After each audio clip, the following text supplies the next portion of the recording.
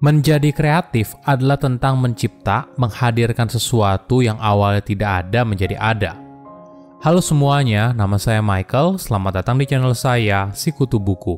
Kali ini saya akan membahas buku The Creative Act karya Rick Rubin. Buku ini membahas bagaimana kita bisa menjadi orang yang kreatif. Sebelum kita mulai, buat kalian yang mau support channel ini agar terus berkarya, caranya gampang banget. Kalian cukup klik subscribe dan nyalakan loncengnya. Dukungan kalian membantu banget supaya kita bisa rutin posting dan bersama-sama belajar di channel ini. Kreativitas adalah keahlian penting untuk sukses di berbagai bidang.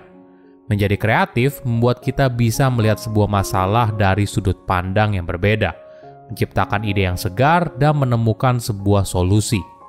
Menariknya, kreativitas bukanlah anugerah segelintir orang, bukan juga merupakan bakat yang dimiliki seorang dari lahir Menjadi kreatif adalah sebuah keahlian yang bisa kamu kembangkan melalui latihan.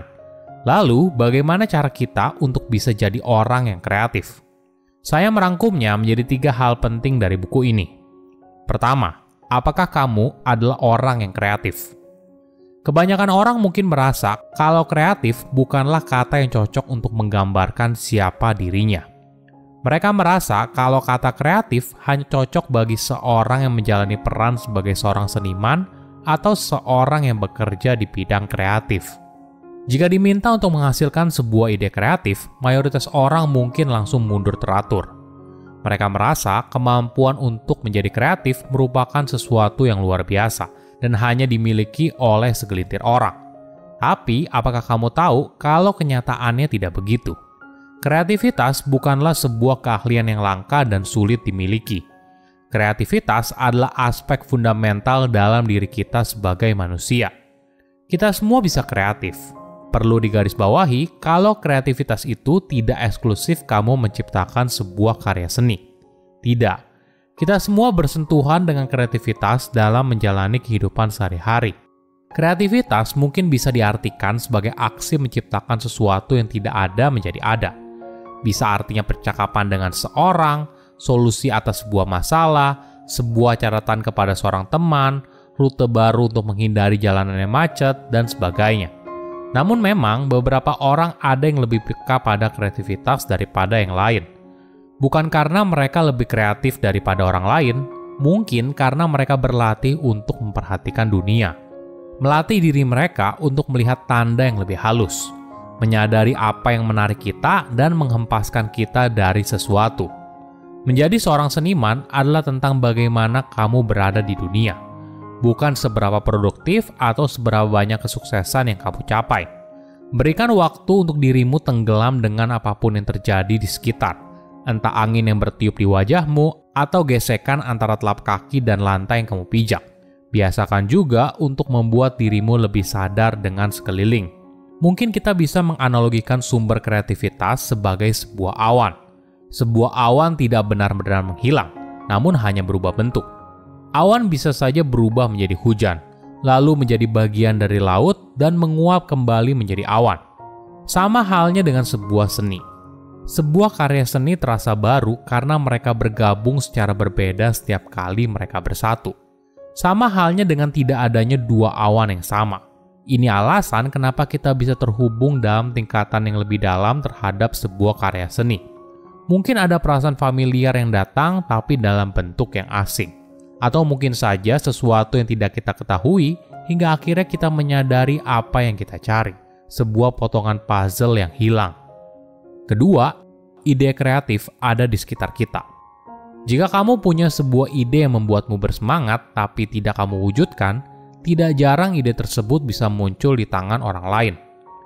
Bukan karena idemu dicuri oleh orang lain, tapi karena ide tersebut menemukan waktunya untuk hadir di dunia. Kita perlu melihat sebuah ide sebagai sebuah proses yang terus berjalan tanpa akhir dan seperti sebuah eksperimen. Sesuatu yang tidak bisa kita prediksi hasilnya seperti apa. Tapi, apa pun hasilnya, informasi tersebut berguna untuk eksperimen berikutnya. Ini adalah pola pikir yang perlu kamu miliki dalam menjalani proses kreatif. Kamu tidak berusaha memberikan penilaian baik atau buruk, benar atau salah.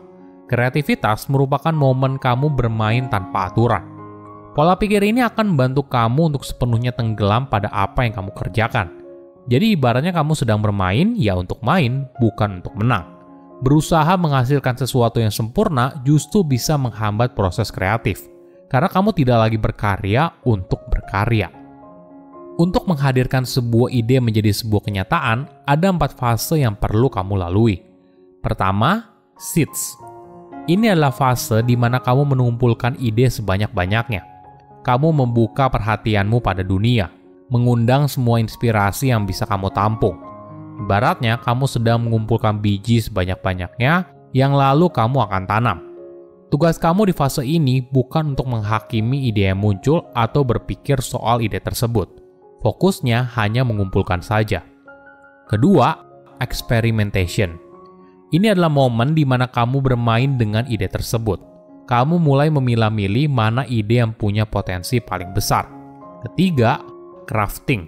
Ketika kamu sudah mengumpulkan ide sebanyak-banyaknya, bereksperimen secara bebas, lalu tahu ke mana harus melangkah, nah di fase ini baru kamu membentuk ide tersebut pelan-pelan untuk mewujudkannya. Terakhir, completion. Ini adalah fase terakhir yang sering kali dibantu dengan sebuah tenggat waktu di mana kamu harus mewujudkan ide tersebut menjadi sebuah kenyataan. Fase ini biasanya hanya fokus menyempurnakan apa yang sudah kamu buat. Artinya, ini adalah hasil terbaik yang bisa kamu buat. Fase ini bukan soal menemukan sesuatu atau menciptakan sesuatu, karena sudah kamu lakukan di fase sebelumnya. Ketiga, tips untuk jadi kreatif. Bagaimana caranya untuk jadi kreatif? Pertama, luangkan waktu untuk kreativitas. Langkah awal untuk jadi kreatif ada meluangkan waktu untuk sesi kreatif. Kreativitas membutuhkan perhatian yang fokus, sesuatu yang sulit dicapai dalam jadwal yang padat. Jadi, kamu perlu meluangkan waktu. Sebagai contoh, penulis yang merupakan produser musik terkenal di balik berbagai artis seperti Johnny Cash dan Jay-Z, meluangkan waktu setiap hari untuk mendengarkan musik yang baru dan mengeksplorasi berbagai jenis suara yang baru. Dengan mendedikasikan waktunya untuk proses eksplorasi kreatif, penulis membuat pikirannya kembali segar dan terbuka pada berbagai ide yang baru. Kedua, jaga ekspektasimu ketika memulai. Saat kecil, kita bahagia saat melakukan apa saja bahkan hal kecil sekalipun. Kita membangun istana pasir atau menggambar dengan krayon, lalu menunjukkannya kepada orang dewasa. Sebelum kita sempat mendengar apa responnya, kita sering kali sudah keburu pergi dan mulai mengerjakan hal lain. Namun seiring bertambahnya usia, ada beban di pundak kita untuk tampil sempurna. Apa pun yang kita kerjakan, kita diharapkan untuk bisa memberikan hasil 100% atau bahkan lebih. Konyolnya lagi, pola pikir ini terus berada di benak kita bahkan saat kita melakukan sesuatu pertama kali. Kita berharap first time right. Tentunya ini sebuah ekspektasi yang mustahil kan? Apakah kamu langsung berhasil memasak spaghetti yang rasanya sama seperti restoran bintang 5? Tentu saja tidak. Kamu perlu berlatih berkali-kali atau bahkan puluhan hingga ratusan kali hingga akhirnya kamu menemukan kombinasi yang sempurna. Jadi, ini yang harus kamu ingat Ketika memulai sesuatu, buang jauh-jauh keinginan untuk tampil sempurna. Rendahkan ekspektasimu dan lakukan yang terbaik. Ketiga, belajar untuk cuek pada hal eksternal. Dalam berkarya, kita mungkin saja terganggu pada hal di luar dari membuat karya itu sendiri. Entah soal tenggat waktu, pemasaran sebuah karya, citra diri, pemikiran untuk menyenangkan konsumen, dan sebagainya.